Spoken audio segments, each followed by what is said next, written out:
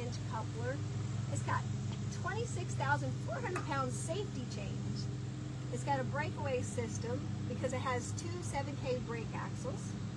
It's got a 10K jack. Up here you have a lockable, usable toolbox.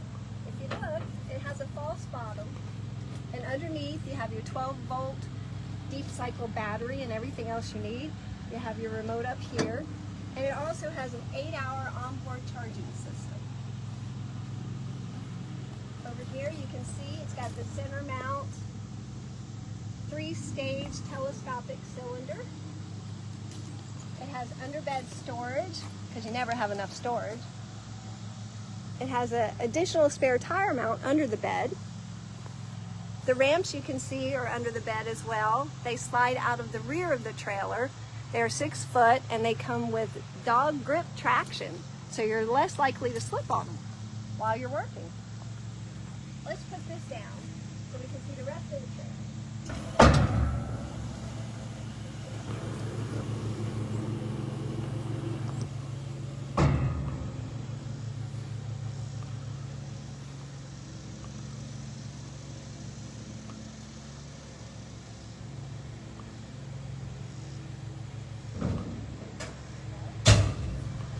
Over here you can see it has a spare tire mount. It's got 10 stake pockets.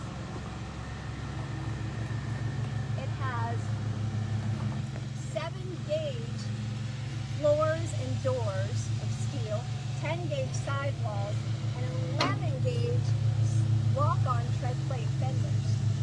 Up here you'll see it has board gussets. So if you need your, your bed to be a, a little higher, a board just slides right in there, which is perfect. It has the ratcheting tarp kit right there. Back here you'll their rear leg stabilizers, barn door spreader gate, which is also the slam door, slam latch door. And like I said, this is the beautiful outer coat finish.